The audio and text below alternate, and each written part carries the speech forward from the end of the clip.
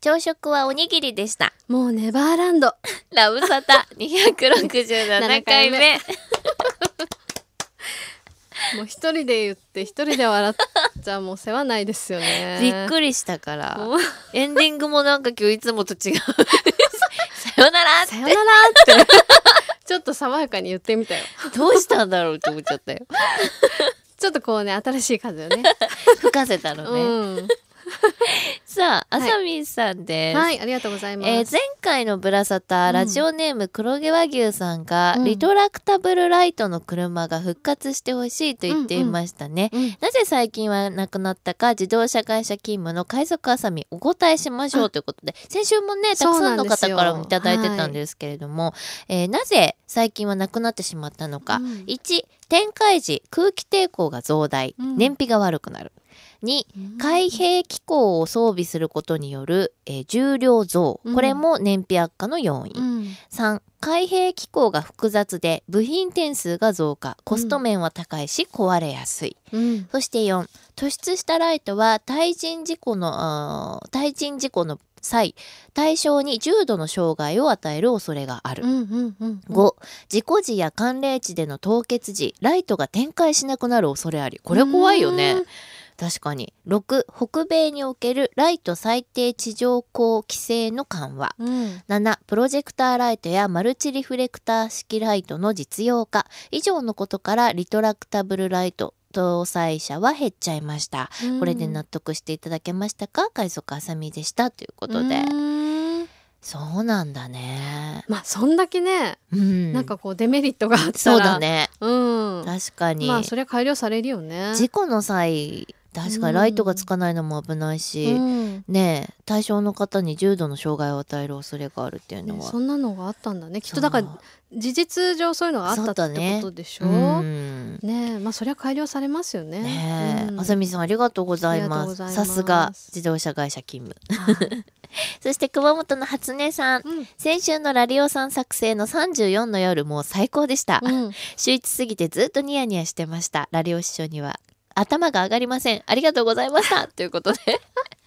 そんなねラリオ師匠からもいただいてますよ、えー放送お疲れ様でした。お疲れのところ申し訳ない。なんていう気持ちはこれっぽっちも持たずにしょうもないネタを送ります。ということで 昨日地元 FM のメッセージテーマが「い。よみがえる」だったんです、うんそこでその番組にも送った卑猥な謎々を、うん。卑猥なことが大好きなあさみさんにも答えていただきたいのです。はい。時間が経つと、はいって言っちゃったけ 何の否定もせずどね。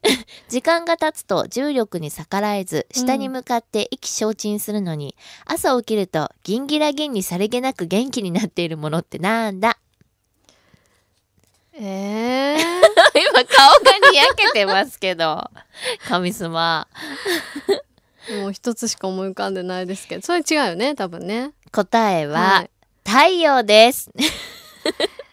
あさみさんが想像していた、あれとは違いますよ。でも、英語読みしたらどちらも3なので、うんあながちあーなるほど間違ってあるねいや、3はさ、違うでしょ。三違いでしょ？3違いだよ。息子って呼ぶのはさ、どちらかというと日本人だけじゃない？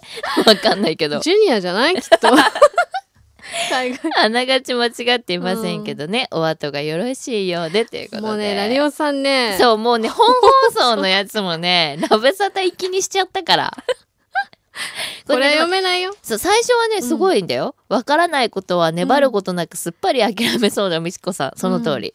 許せないことは相手が前処するまで粘るクレーマーあさみさん。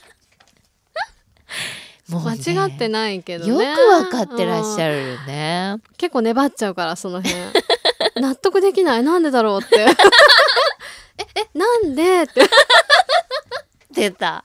クレーマー。そうだってほら納得いく説明をしてくれれば あそうなんだって思えるけど、そうだよねなんだそれっていう 理由があったりするわけじゃない？世の中にはうん。。そうだね。うん納得いかないことがね。うん、納得いかないっていうのを顔に思いっきり出ちゃってるっていうこの間もあったな。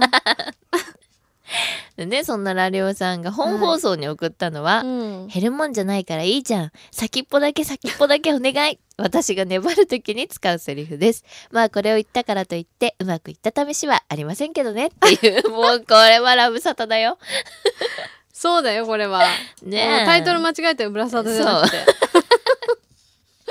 さあ、そして、えー日高さんです。はい久しぶりのラブサタ投稿になります。うんラブサタ投稿で初のラブネタになりますかね実は最近、本当に人間関係にほとと嫌になってしまう出来事が多く、うん。この属世間を離れ、世界の果ての日本人に本当になってしまおうか、と悩んでいたのですが、大丈夫、うん。日高さん。友人に、うん。占い師さんに見てもらえばと言われ、うん。まあ、第三者の意見を聞くのも悪くないかと思い、うん。その占い師さんに相談してみたんですが、うん。その答えは、今の日高さんに大事なのは嫌いな人たちのことを考えたり就活じゃない。大事なのは婚活と言われました、今年は恋愛の運気が最高潮らしいのですが、えー。周りに女性っ気がないため、うん。婚活といっても何をしていいものやら、うん。友人に言っても笑われるだけだし世話焼きおばさんみたいな人もいませんし、うん。お二方が仮にまだシングルだとして、うん。恋を始めるとしたら第一歩として何をしますか、うん。良いアドバイスがあればよろしくお願いいたします。あれ？これはゆず先生に相談か？って感じありますが。まあゆず先生の、方が、うん。まあ的確だけどね。的確だけれどもね。でもさうん。まあ出会い今から出会うとしたら、まあ本当に多分それこそさ向こう婚とかってもうん。う多分少なくなってるじゃない、う。うん。だからこう人頼みだと多分進まない可能性があるんだよね。うん、そうだね。うん、誰か紹介してよとか、ああ、じゃあ、いつかいい子いたらってなったら、どんどんどんどん大抵やっぱねこの年だだと面倒くさくなってるから。そうなのよ。うん、ただ周りにそういうなんか女友達とかで、うん。そういうのが好きなと好きな子とかがいたら、うん。結構あのノリノリでやってくれたりとかするとは思うけど、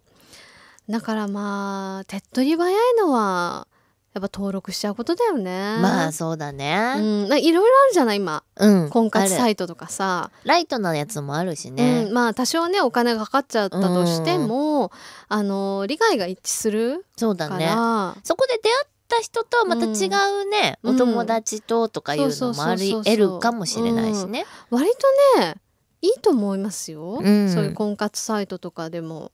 ね。うん、あとはパーティーにちょっと出席してみるとかねその婚活パーティーとかあーあー。結構多分割と簡単に、そうね。うん、あの勇気勇気というかまあね行く気があれば、あの全然行けるようなパーティーだと思うしそれは多分ハードル高くないと思うんですよ一回行ね。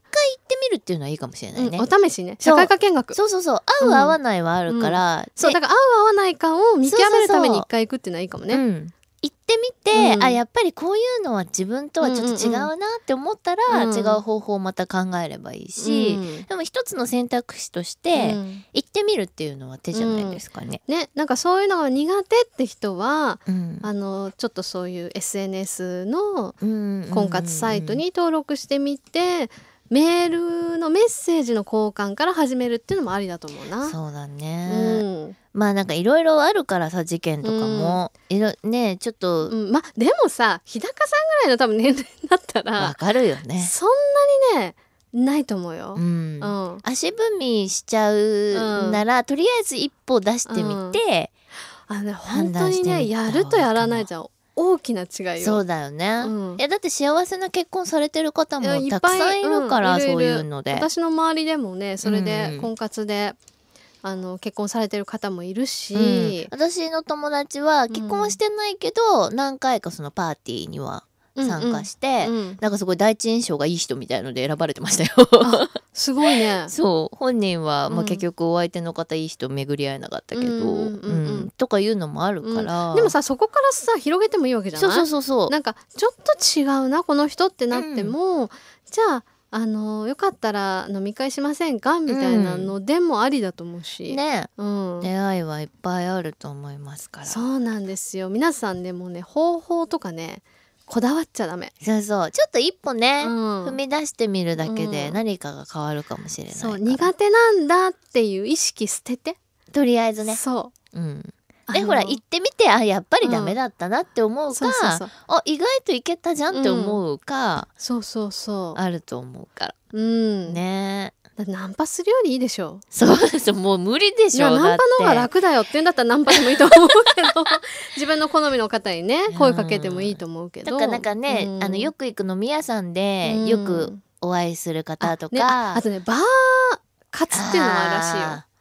そうね。バーに行ってみる、うん。結構ねバーに一人で来る女の人っているんだって。多いらしいよ最近。最近ねバー活っていうのをやってるバー活っていうのかな。うんわかんないけど、なんかそういうのやってる女性ね割と多いらしいよ。うん。しかも結構いい女なんだって。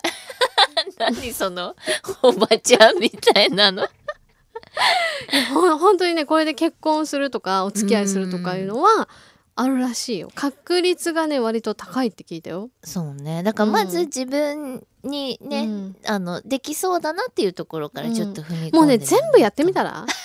一回手つける。さすがだなあさみさんは。じあのね選んじゃダメよ。やれることはやれと。やれることやった方がいい。そうだってほらね今年恋愛の運気最高潮だからうん、いろんな人と出会うっていうのはいいらこの波に乗った方がいいよ。そうだね、うん、いやーちょっと日高さんからのご報告もお待ちしてますよ。春が来るんじゃない？違う。夏が来るんじゃない？違う。真夏が来ちゃうんじゃない？そうね、いい恋が始まるといいけど。行こうよネバーランドへ。言いたいんでしょネバーランド。どうしたのあれ？びっくりしちゃった。急に思いついたのね。ねえ。メールアドレスが言えなくなるぐらい自分でハほらこれネマっちゃう。バーランドって書いてわざわざ赤ペンで書いてあるよ。もうメールアド久々に読めなかったもんね。自分で。込み上げちゃって 言った自分でハマっちゃうっていうね。人が笑うより先に笑うっていうね 一番ダメなやつね。いやー面白かった今日も。思いつきで。いねやー今日も甘噛み。まあ噛んでたね。え噛んでたね。だいぶ噛んでた。いや今日の神様もだいぶ噛んでたよ。噛みすまもだいぶハードに噛んだね。大大ハードだね。が大ハード。久しぶりに聞いたわ大ハード。この間テレビでやってたから。